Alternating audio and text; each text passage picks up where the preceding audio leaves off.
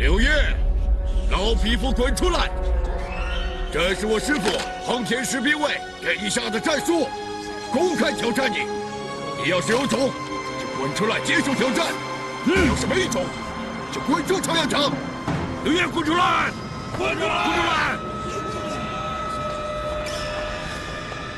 大雷啊，外面怎么回事？吵吵嚷嚷的。师傅，我去看看。师傅，师傅，小田，外面怎么回事？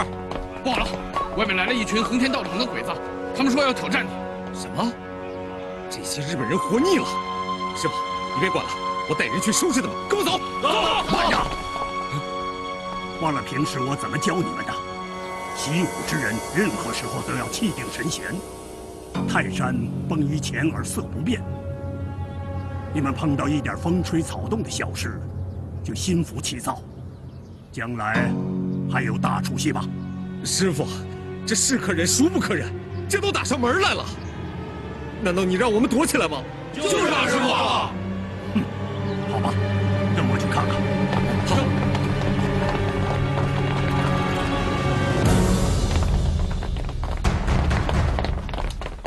刘烨，你要不敢出来，就直接从后门滚蛋吧，省得我冲进去踏平你的武馆。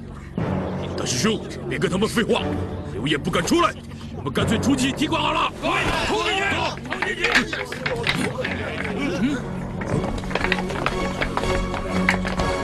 什么人在这吵吵闹闹的？哼，刘烨，你终于出来了。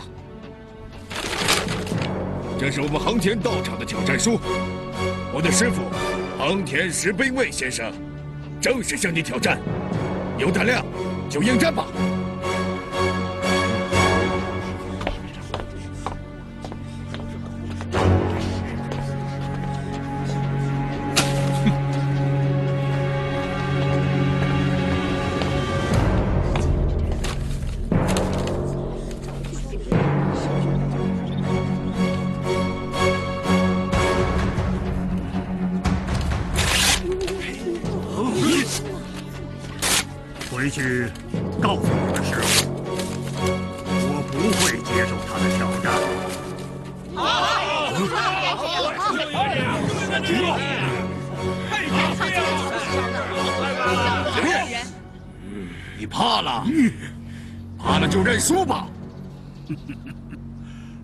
有几千年的历史，刚柔相济，博大精深。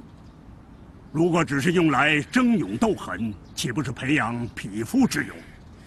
中国是礼仪之邦，凡事以德为先，习武必先修武德。你们只不过是一群毫无德性的强盗，自称武士却毫无士风可言，所以你们的馆长没有资格和我比武。对，没有资格。对，你们没有资格，没资格，没资格。刘烨，怎么会跟你们比？你是在侮辱我的师傅，侮辱我们大日本帝国的武勋吗？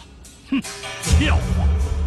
这是我们中国的土地，你们不请自来，为非作歹，难道还想受到别人的尊重吗？哎，八嘎！八嘎！干什么？老匹夫！要你的命，去死吧！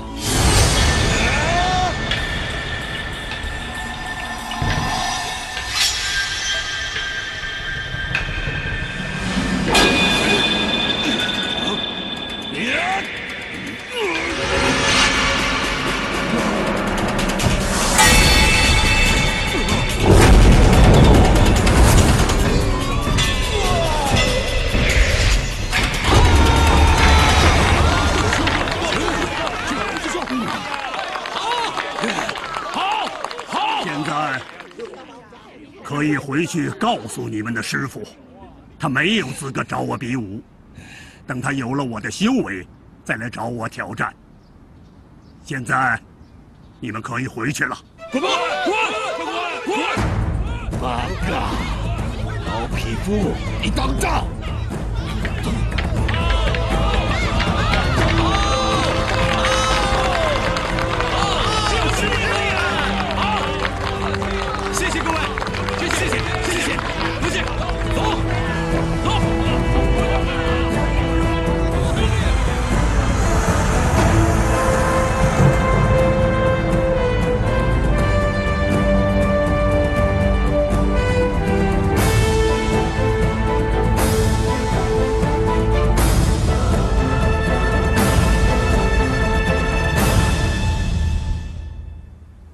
师兄，柳月用的是什么武功？你看清楚了吗？没看清楚，他的动作太快了，我还没有反应过来，就已经飞出五米多远了。这个人的功夫之高，实在让人匪夷所思啊！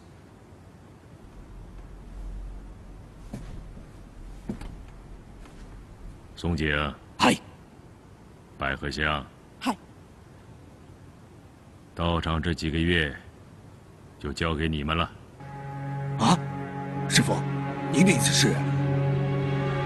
碰到了对手，柳叶的武功高强，我不能大意，所以我决定闭关修炼几个月，把自己的武功再提升一个层次，那胜算才有把握呀。师傅说的有道理。你们俩帮我打理好道场。至于柳叶，我会打败他。嗨。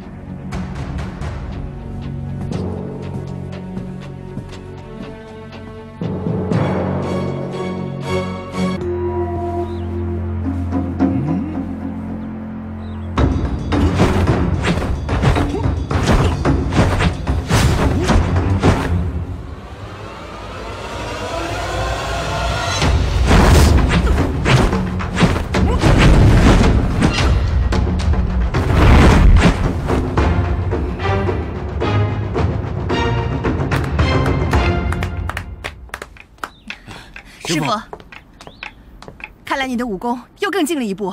是啊，师傅，看得我眼花缭乱，相信师傅一定不久就可以出关了。不，还没有达到我自己要求的境界，还需要更多的时间去继续修炼。对了，你们俩怎么来了？我们想念师傅，所以就过来看看。是啊，想师傅早日出关，早点打败柳叶那个老东西。学会忍一时之气。也算是你有所长进了，啊！你们俩放心吧，用不了多少时间，我就会领悟到我们大和武功的最高境界，到时候一定能够打败柳松井。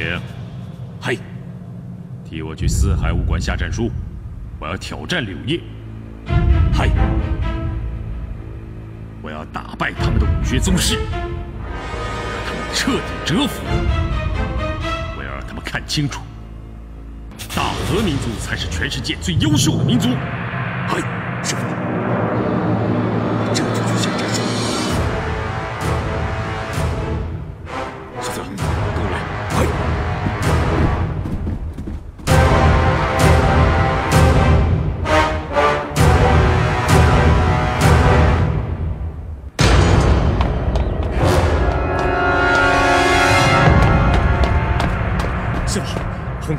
有封信给你。嗯，恒田道场是。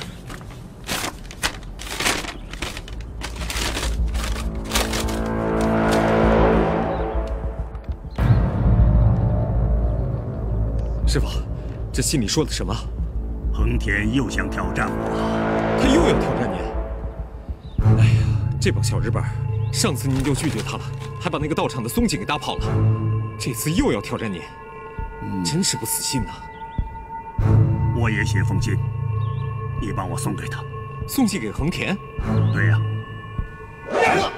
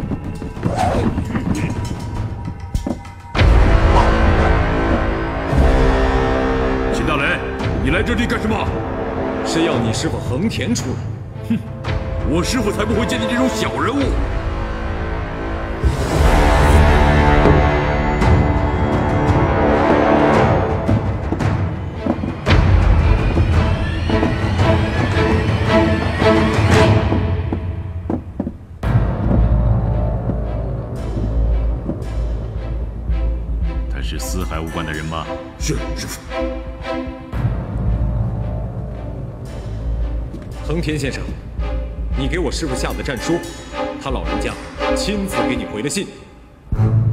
你师傅接受挑战了，你还是自己看吧。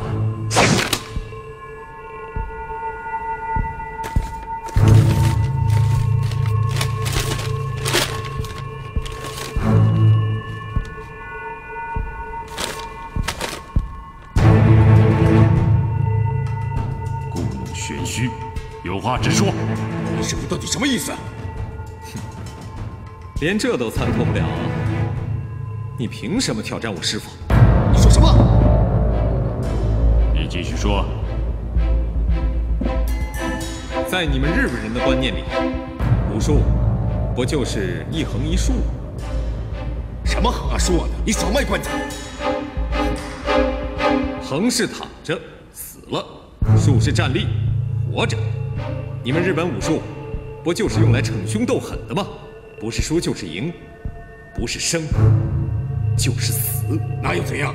比武本来就有输有赢，人活着也本来就有生有死。那是在你们日本人看来，在你们日本人看来，那武术就是用来打打杀杀的。而我们中华武术博大精深，讲究修武德、养性情、强身健体、保家卫国。我师傅开武馆，就是为了把这种精神发扬光大。而打擂台这种逞凶斗狠的事，完全违背了他老人家的意愿，所以他是不会接受你的挑战的。你师傅不接受挑战，那是要当缩头乌龟吧？我师傅他老人家是不屑于你们动手。恒天先生，话我带到了，告辞。上！你们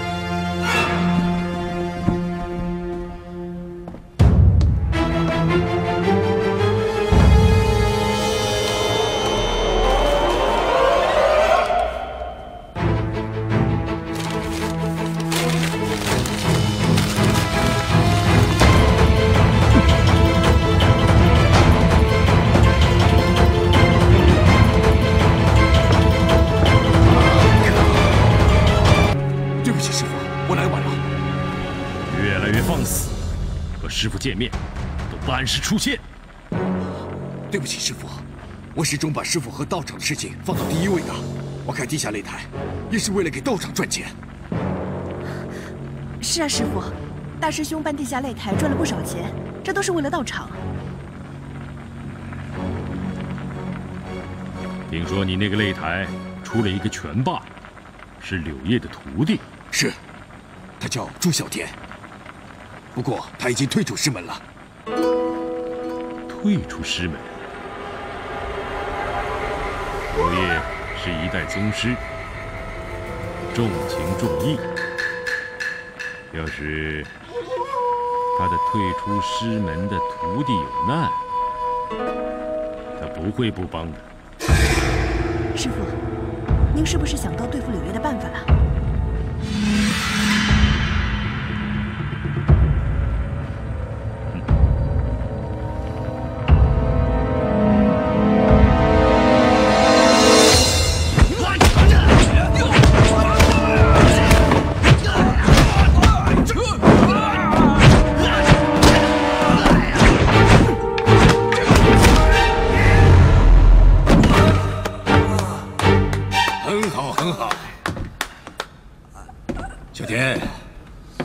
状态越来越好了。来，我给你介绍一下，这是小池，我会安排你和他打的。你多大？十八，练武多久了？半年。才半年。宋江，你怎么安排一个新手打？你是不是想让我打死他？哎，我师傅很看好他的，非常器重他。小子，我是不会手下留情的，你好自为之。哼！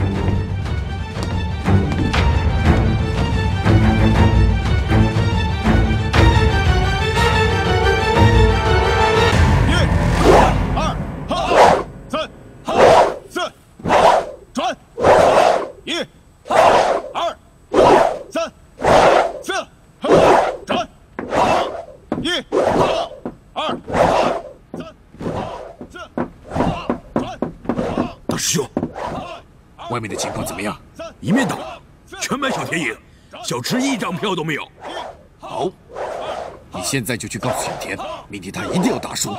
小田那个家伙性格倔强的像头驴，只怕他会不听安排。这个你不用担心，师傅已经安排好了一切，不管他听不听我们的安排，结果都是一样的。师傅也插手这件事。是啊，小田也风光的够久了，该够了，是时候让他付出代价了。对，一定要他身败名裂。什么狗屁拳霸，我早就看他不顺眼了。身败名裂，太便宜他了吧？师傅是要朱小天死啊！他活不过明天。你现在就去告诉他，明天的擂台比武，他一定不能大赢小池。嗨。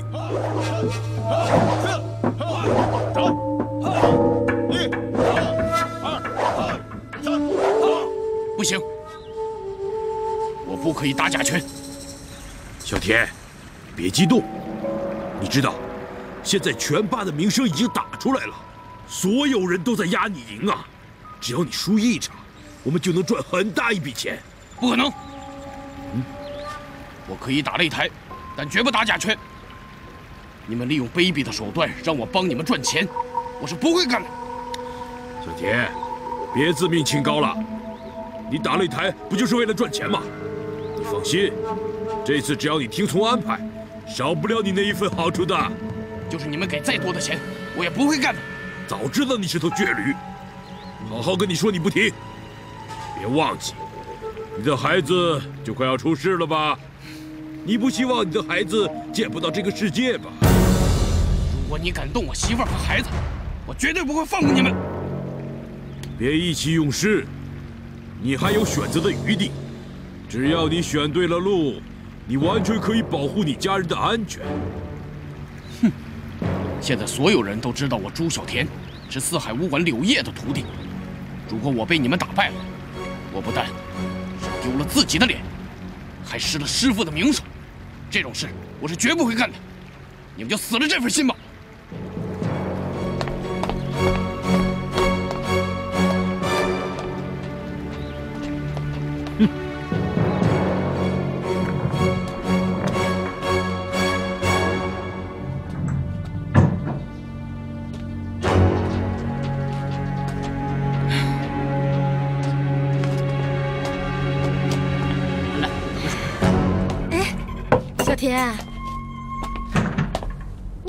回来呀？快来看，谁来看你了？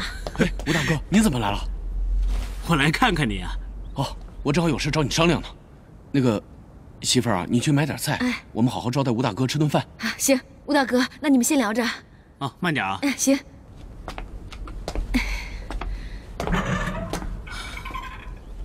什么事儿？他们让我打假拳。让你打假拳？嗯。我早就告诉过你，别和这帮浪人缠在一块儿，他们就像毒蛇一样缠住你，你知道吗？我也是逼于无奈的，就这样被陷进去了。事到如今，赶紧想想对策。我已经想好了，我不会打假拳的。吴大哥，我想求你帮个忙，帮我照顾一下翠翠。过了明天啊，我就带她离开这儿。唉，这样和日本人搅在一块儿，他们说什么你就得听什么，他们不会放过你的。我劝你啊，现在就走，这拳就别打了。不行，日本人利用我，赚那么多钱，还逼我用卑鄙的手段帮他们骗钱。这口气啊，我咽不下，我不能走。他们是不会放过你的，你听我一句劝行不行啊？吴大哥，我咽不下这口气，我一直忍气吞声，做缩头乌龟。这次啊，我绝对不会再忍了，我一定要让全城的老百姓看清他们的真面目。行。我，我帮你照顾翠翠，但你自己也得小心，知道吗？知道了。哎，来，小心啊。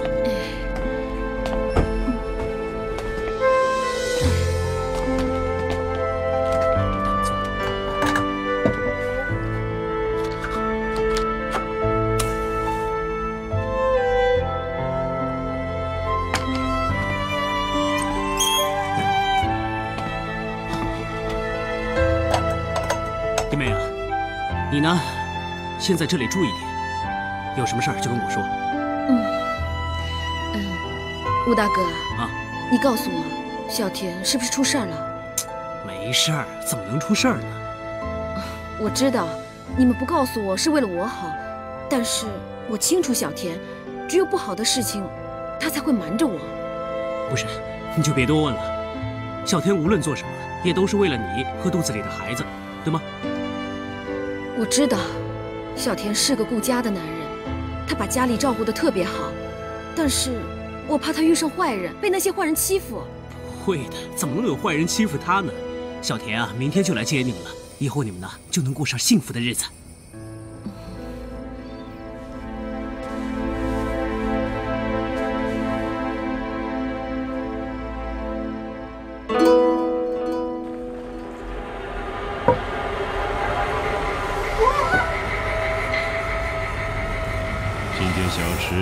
小田，你都安排好了没有？可是这个小田，他并不配合打假拳。早就猜到会这样子。这柳叶教出来的徒弟都跟他一个脾性，自命清高，死要面子，怎么会愿意输呢？更别说要他打假拳输了。师傅，既然这样，不如我们就按照计划，让小田死在擂台上。只要朱小天一死，我不相信柳叶缩在武馆里面不出来。松井，你放手去做。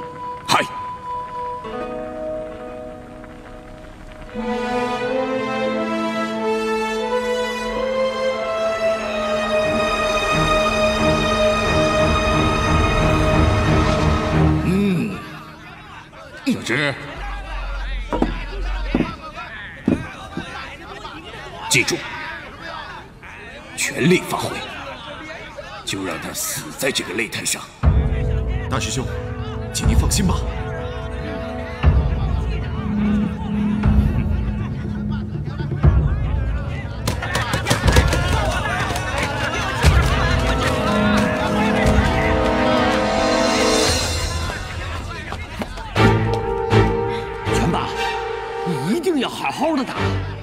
全部的家当都压在你身上了，你一定要赢！喝了这碗水，待会儿让日本人好好看看我们中国人的功夫。喝！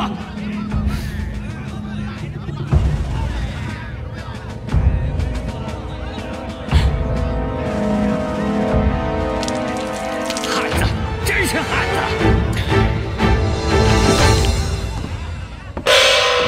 大家静一静，今晚的比赛就要开始。今晚对决的是拳霸小田和横田道场的小池。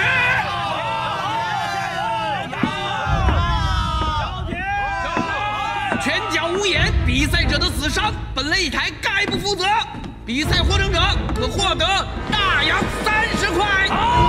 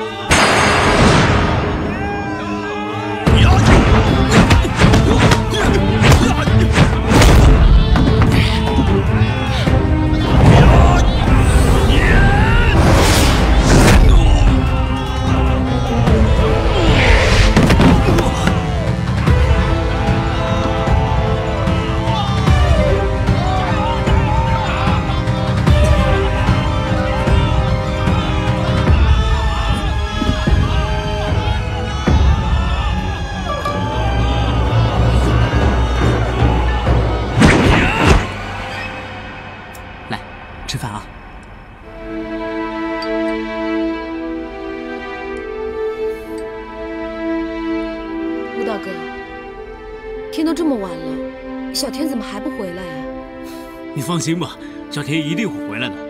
你啊，先把饭吃了，好吧？我担心小田吃不下。那我扶你到床上坐会儿。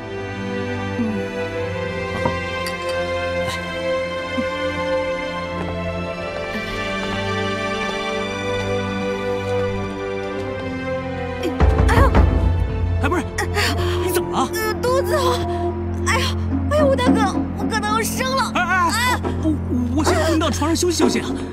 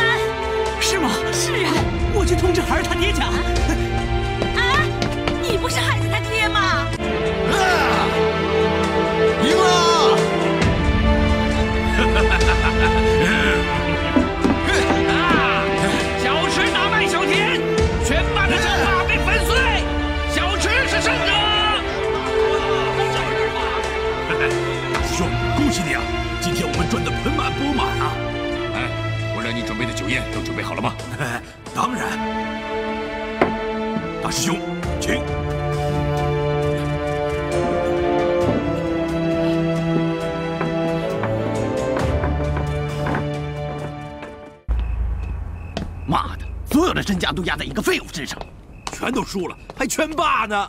狗屎就是，哎，不是你们刚才说拳霸什么？呸，什么狗屁拳霸，害老子赔了个精光。你们的意思是拳霸输了是吧？岂止是输了，是死了，被恒天道场的人啊打死了。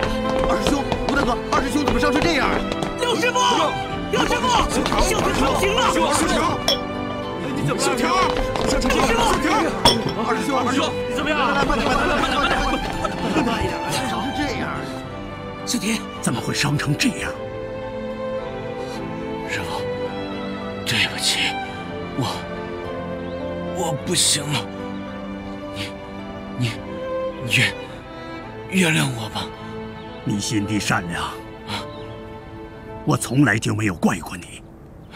那，你还认我这个徒弟吗？认，当然认。我一直都认你。师傅，我要求你，求你件事。说吧，只要师傅做得到。翠翠生生孩子了，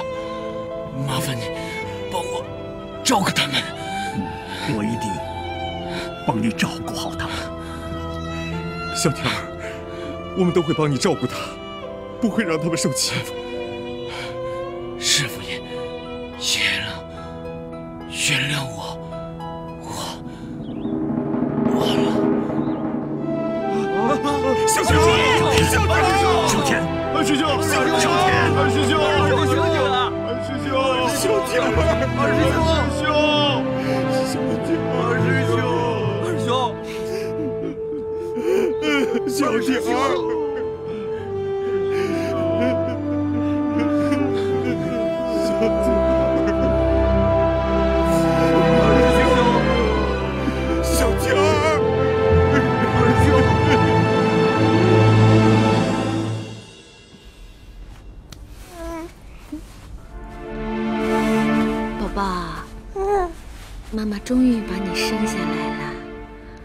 知道。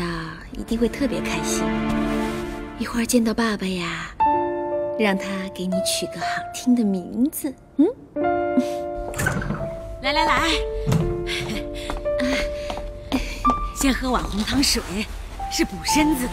来，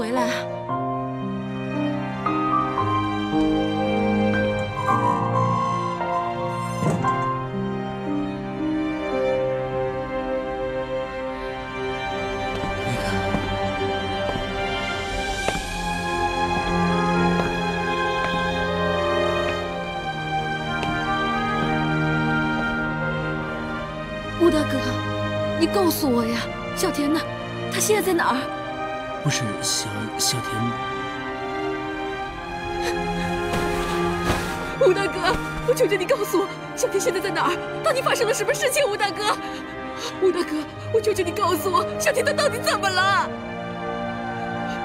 小天，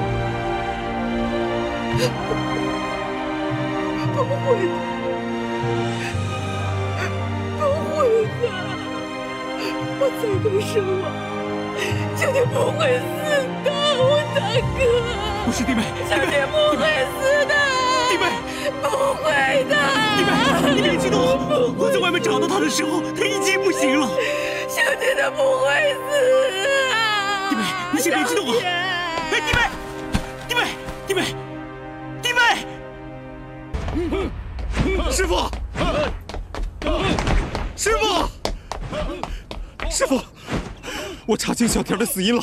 怎么回事？小田是被日本人害死的。那些日本人想让小田打假拳为地下擂台赚钱，小田不肯，那些日本人就下毒手。他们让一个赌徒端了一碗毒水给小田喝，小田喝了毒水上当。师傅。小田不是被打死，他是被毒死的。师傅，小田死的好惨呐！凶极恶的倭寇，是他们害了小田。师傅，现在人证物证俱在，我立马带着人去横天道场为小田讨回公道。走！好，大雷，这帮日本浪人是一群穷凶极恶的魔鬼，他们在这里祸害中国百姓。为师岂能坐视不管？师傅，我要去给小田报仇，那是您的徒弟，我的兄弟。大雷呀，你这样去只会牺牲更多无辜。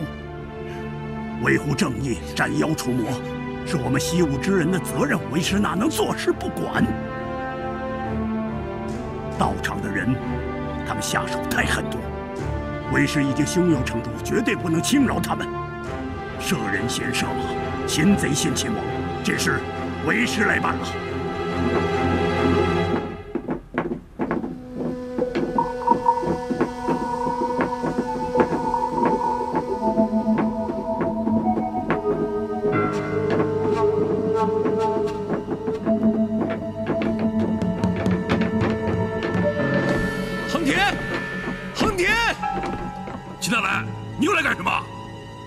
叫你师傅横田出来。哼我师傅是你这种小子想见就能见的吗？你最好叫他出来，不然你会后悔的。小泽，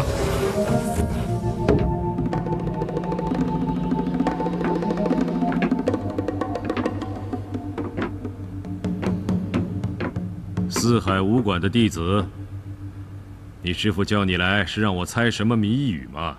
我师傅没时间跟你玩我师傅叫我来给你送战书的。你师傅向我挑战？没错。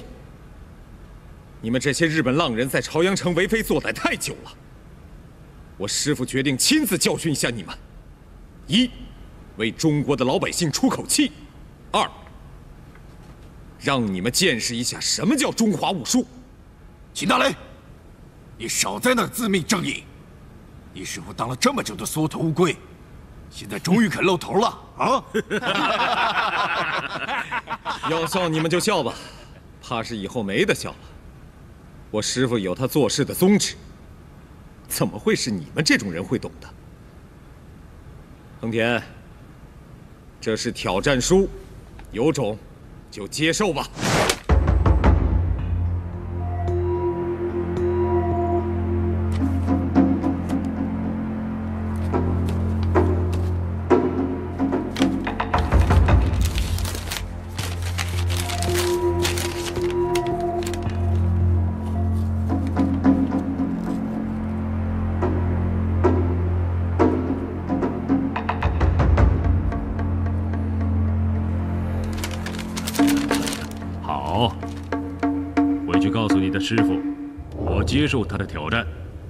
这场比武，我期待已久了。好，那就一切在擂台上见分晓。告辞。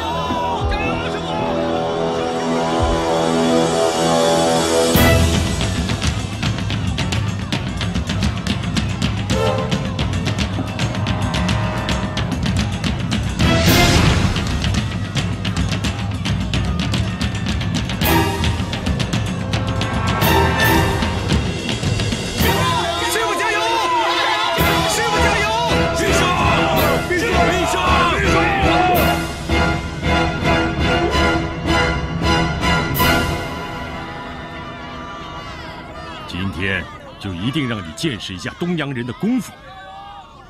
你们的军队漂洋过海侵略我们中国，烧杀抢掠，无恶不作。我今天就是来为我的徒弟报仇，也让千万中国百姓出口恶气。不要逞口舌之快，胜者为王，败者为寇。少废话，来吧！鬼子，放马！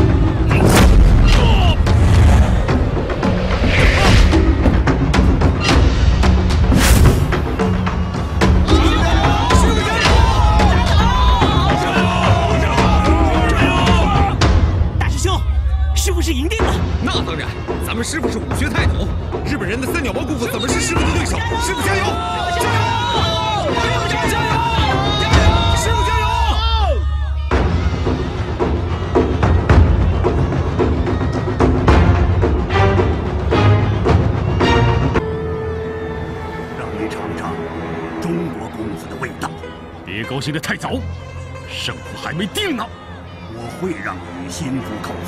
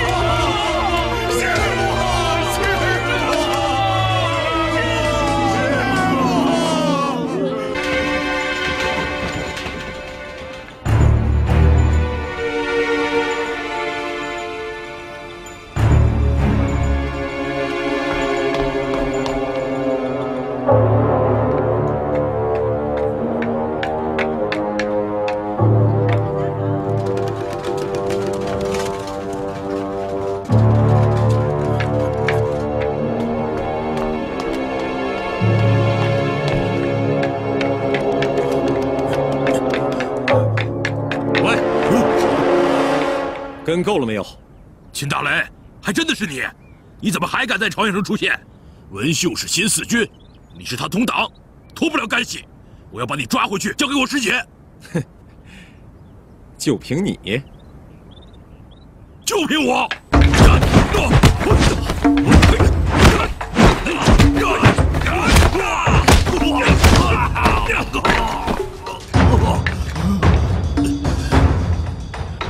就你这两下子，滚回日本吧！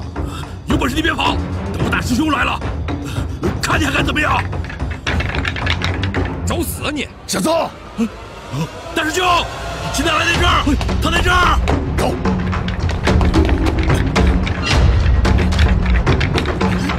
快起来！师兄，师兄，大师兄，秦大来跑了，追！快快快！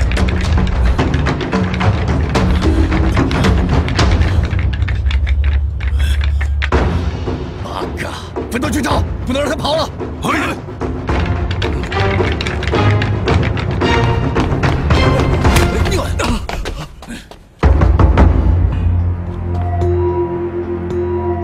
秦大雷，你还想往哪里跑？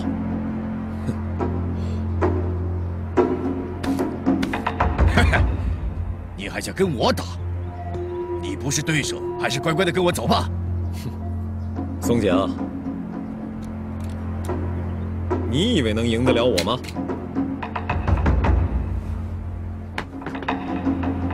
八嘎！太狂妄了！我师父打赢了你的师父。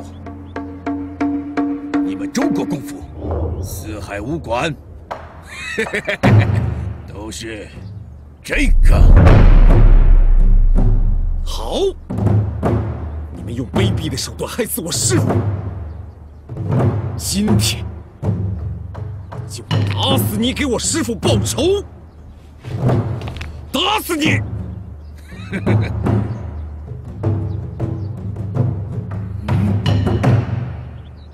来吧！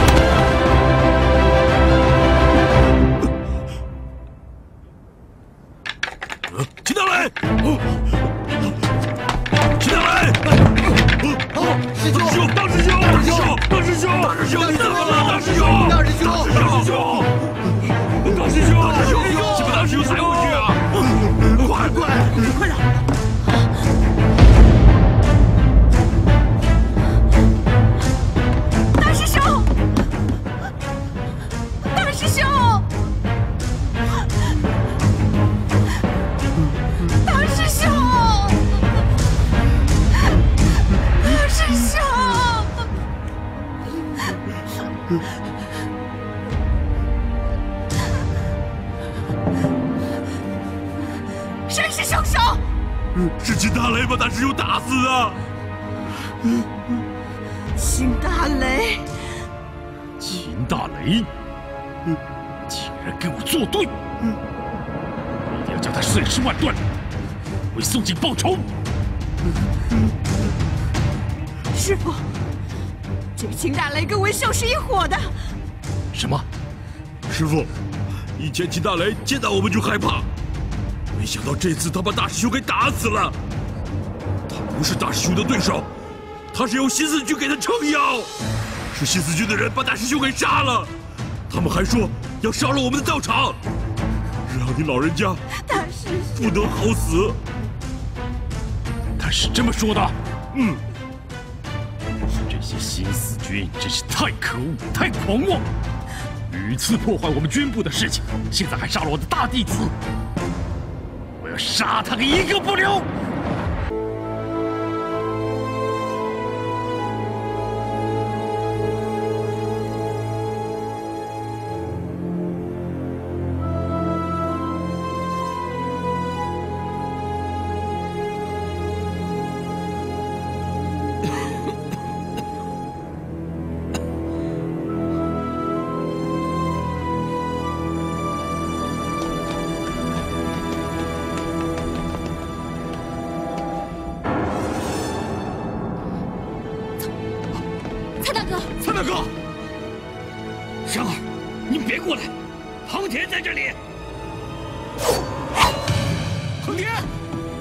把刀放下！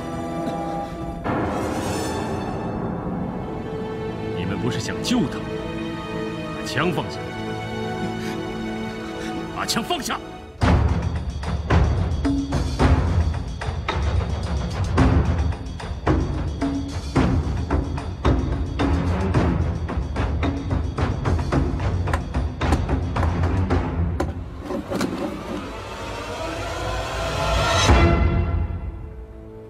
还算来的不晚，还可以亲眼看看最后一面。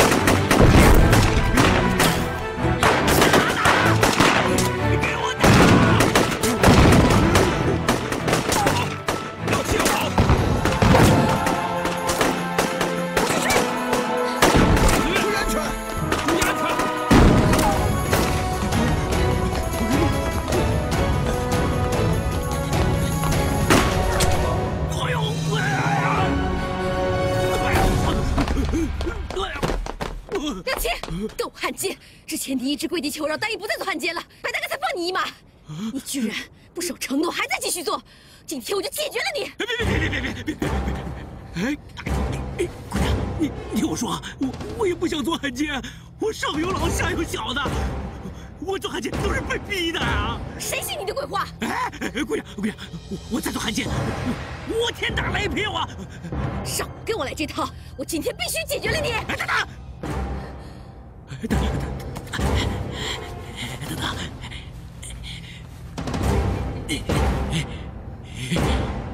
金条，我这两个金条是我唯一的家当，我拿它换我条命。少跟我废话！我你，哎呦！你